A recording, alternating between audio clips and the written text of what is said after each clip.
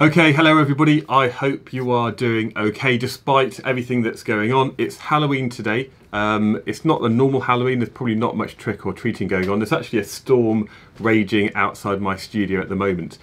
Um, and basically, in the paper today, uh, they're actually talking about there's a potential, there's a, they're considering another nationwide lockdown.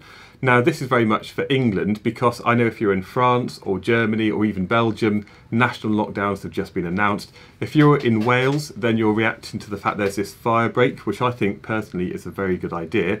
But that does mean that for a lot of you, you're not going to be going back to school next week. You might have an extra week of holidays I suppose remote working uh, before you go back into schools. Northern Ireland, uh, I know there's a thing where they've delayed uh, a lot of the um, sort of autumn exams by another couple of weeks. Which, to be honest, if you're in Northern Ireland and you've had a delay of a couple of weeks, especially for your GCSEs, then actually that's kind of really going to help you have a bit more time to revise.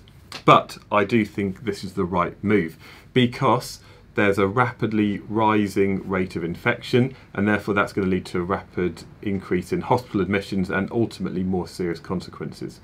But like I said in the video I did last month, you can watch my prediction up here. Um, I do think schools are going to stay open and that is good for you students because it means that you have some social interaction, you keep learning and that means there's not going to be too many delays or other things for your future. Now, who knows what's going to happen in the future, but this is my prediction. Exams of some kind will still happen, and mock exams are going to be a lot more important than they have been before. And that means the more time you can spend in schools, rather than just rem remote working at home, the better. So what can you do? Nothing. You can basically just react to the situation. Uh, you know, if schools are shut, it might just be your bubble have to isolate, or even a smaller part of that bubble where they've identified the students who might be most at risk. If that happens, then obviously your teachers are setting work, and it's really up to you to do as much as you possibly can. Not forgetting, of course, if you want to have any help with your physics, both at GCSE or A level, I do have websites with all the videos ordered by topic. I suppose the other thing you can do is when you're in schools, just try and be sensible. And this will not only protect you to stop you getting ill, but also it's going to protect the people in your family, and also it's going to protect your teachers. If you can do stuff like making sure that you're keeping on top of your hand washing, you're keeping on top of distancing where possible, and wearing a mask where possible, ultimately that's going to make your school a safer place, it's going to protect your teachers, and you don't want your teachers being off sick because if there's a replacement teacher, the lessons aren't going to be as good as if your normal teacher is there teaching you. So do what you can in schools to protect the teachers because they're all old people anyway, aren't they, compared to you lot? And therefore they're more vulnerable to um, kind of things with COVID.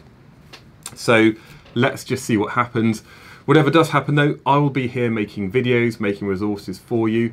Um, if schools do shut, then you know that I'll be doing live streams every week to help you with your learning. And as the year progresses and we get close to the exam season, I'm going to be doing a lot more live streams to be your other or second or third teacher helping you with as much physics as I possibly can. So in the meantime, uh, make sure that you do subscribe to me here on YouTube. It's all completely free to do. You can keep updated if you turn on notifications for all the stuff I'm doing. And have a look over at my A-level website where I've got lots of worked example questions using past papers.